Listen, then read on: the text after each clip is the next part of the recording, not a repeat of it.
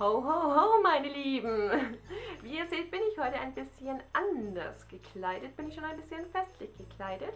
Ja, und passend zu dieser Jahreszeit, jetzt wo jeder schon eher oder vielleicht wenn er später schaut, äh, ja kurzfristig noch ein paar Weihnachtsgeschenke sucht, habe ich gedacht, gebe ich euch einfach ein paar Tipps, was mir persönlich aufgefallen ist, was man eben Buchnerds äh, schenken kann, worüber sich wahrscheinlich jeder freuen würde. Und ja, starten wir einfach mal.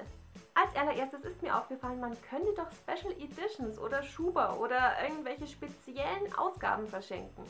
Für Fans von Vampire Academy würde sich natürlich dieses Jahr speziell diese äh, 10-Jahres-Ausgabe eignen, weil sie ist erstens wunderschön und welcher Fan möchte nicht diese ja, besondere Ausgabe in seinen Händen halten? Oder ich habe zum Beispiel von meinen Eltern letztes Jahr den Sherlock Holmes Schuber bekommen. Der schaut nicht nur wunderschön aus, sondern enthält wirklich alle Geschichten, auch die Kurzgeschichten und ist wirklich so wie er gebunden ist, eigentlich wirklich toll zum Lesen.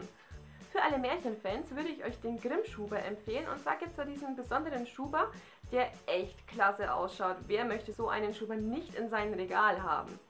Und zwar gibt es nämlich diese Ausgabe mit den Originalanmerkungen der Gebrüder Grimm und ich glaube, das sind dann auch noch Briefe, wie so hin und her gingen mit dem Verlag oder wie man das früher genannt hat. Und ja, mich persönlich würde es zumindest wirklich interessieren.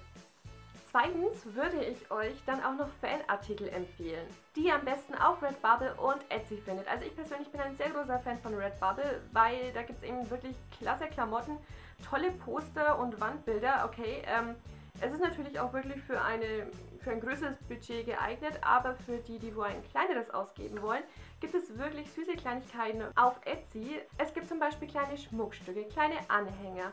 Es gibt da wirklich viel so kleines Klimbim und ja, man kann sich da wirklich tot suchen. Weil ich es gerade über Schmuck hatte, letztes Jahr habe ich zum Beispiel meiner besten Freundin, unserer gemeinsamen besten Freundin, dann was geschenkt und das war ein Wunschknochen aus Daughter of Smoke and Bone. Also für alle Daughter of Smoke and Bone Fans, diese Wundknochen sind einfach echt niedlich. Sie sind nicht allzu teuer, so zwischen 20 und 30 Euro. Es gibt auch noch billigere Varianten, ob es Gold, ob Silber ist. Es gibt wirklich echt verschieden und ja, ich kann sie euch wirklich nur empfehlen. Ebenso in diesem Fanbereich fallen Funko Pops. Ich liebe, liebe, liebe Funko Pops. Sie kosten zwischen 20 und 30 Euro. Es gibt auch welche für 15 Euro. Es gibt Mini-Funko-Pops. Und es gibt so, so viele. Gebt es einfach auf Amazon ein. Gebt mit dazu ein, um welche Serie, um welches Buch oder sonst sich was handelt. Auch Animes gibt es viele Funko-Pops. Also wirklich, da bekommt man wirklich alles, was das Fanherz nur so begehrt. Für drittens darf es vielleicht sogar etwas kleines Selbstgemachtes sein. Was wahnsinnig gut auch ankommt, sind Lesezeichen. Da gibt es so, so viele Do-it-yourself-Videos auf YouTube. Also gebt es einfach ein und bastelt ein wirklich süßes, vielleicht auch personalisiertes Lesezeichen. Man kann Fotos von sich, wenn man es an Freunde und Familie verschenkt, mit drauf machen. Gemeinsame Fotos meine ich. Und man kann sie so schön verzieren in den Lieblingsfarben und man hat einfach so viele Möglichkeiten. Und es kostet nicht viel, aber es kommt von Herzen. Genauso wie man Wandbilder wirklich selber gestalten kann. Gebt einfach auf Poster XXL, entwerft euren Liebsten was. Wirklich. Es gibt, ihr könnt wieder da Persönliches einfließen lassen oder sucht euch einfach auf Pinterest irgendwelche Anregungen, was ihr übrigens selber so zusammengestalten könnt. Dann fallen mir noch Handyhüllen ein. Es gibt wirklich im Internet so viele Seiten, wo ihr euch wirklich Handyhüllen selber gestalten könnt. Wieder hier eigene Motive benutzen, irgendwelche Buchzitate, irgendwelche Buchcover. Euch steht da wirklich alles offen. Dann zu meiner letzten Idee für Selbstgemachtes, auf die bin ich nämlich wirklich stolz. Darüber würde ich mich nämlich auch wirklich freuen. Wenn ihr zum Beispiel ein Buch verschenken wollt und ihr wisst nicht, was der Beschenkte sich zurzeit wünscht oder schon hat oder vielleicht Weihnachten doppelt und dreifach geschenkt bekommt, macht doch wirklich einen selbstgemachten Gutschein, in dem ihr reinschreibt, ihr würdet einen Shopping-Nachmittag mit ihm verbringen und er dürfte sich eben ein Buch aussuchen.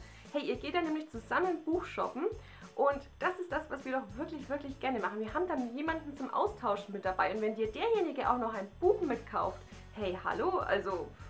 Und ja, man muss nicht wirklich kreativ sein. Man muss nur diesen Gutschein selbst schön gestalten. Und noch ist kein Geld ausgegeben. Wenn es der andere nicht in Anspruch nimmt, wobei er sehr dumm wäre, ja, selber schuld. Aber ansonsten, ihr habt eine sehr, sehr kreative Idee und dass ihr mit dieser Person Zeit in einem Bücherladen verbringen wollt. Für viertens habe ich mir Fulltext-Poster oder Buchtext-Poster, also unter diesen beiden Namen findet man das nämlich, ausgesucht.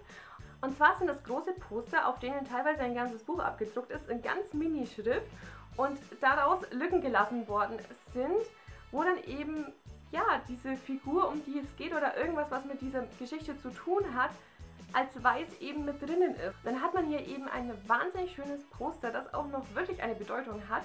Und ja, es ist einfach ein Buch als Poster. Hey! Dann für fünftens habe ich auch noch eine klasse Idee, weil ich bin zum Beispiel im Moment so eine richtige Frostbeule, vor allem im Winter. Ja, es gibt nämlich Decken, die haben Ärmel. Also man kann sich in der Decke wirklich schön einmurmeln. Es ist wie so ein XXL-Bademantel dann, der total flauschig ist und man kann lesen. Wen es dann auch noch an den Händen friert, schenkt einfach noch Bettlerhandschuhe mit dazu, wo nur die Fingerspitzen frei sind. Aber wirklich, ihr könnt euch einkuscheln und könnt trotzdem ganz gelassen ein Buch lesen, ohne dass ihr irgendwo euch 10.000 Ritzen freimachen müsst, um dann eben mit euren Händen rauszukommen. Und Ärmel an einer Decke, das ist so genial. Auf Platz 6 kommen bei mir die Coloring-Bücher. Äh, es gibt hier zum Ausmalen, es gibt welche als Mandala-Formen, aber was ich jetzt halt wirklich allen Buchnerds empfehlen kann, gebt es einfach mal auf Amazon ein. Vielleicht gibt es zu eurer Lieblingsbuchserie ja auch ein Coloring-Book. Zum Beispiel für The Selection ist erst neulich eins erschienen. Ich weiß, es gibt welche für Throne of Glass. Für Red Queen erscheint auch bald was. Also es gibt wahrscheinlich bald für jede Buchreihe ein Coloring Book. Und ja, wenn ihr dann auch noch eine Packung Buntstifte mit oben drauf legt, dann wird sich derjenige noch mehr freuen. Als vorletztes ist mir noch eingefallen, wenn die beschenkte Person etwas mit Booktube zu tun hat und vielleicht noch nicht das ganz passende Equipment hat, dann schenkt doch Softboxen oder Mikrofone oder was weiß der Geier. Irgendwas, was derjenige noch gebrauchen kann, um seine Filme noch besser zu machen, um auf Booktube noch weiterzukommen.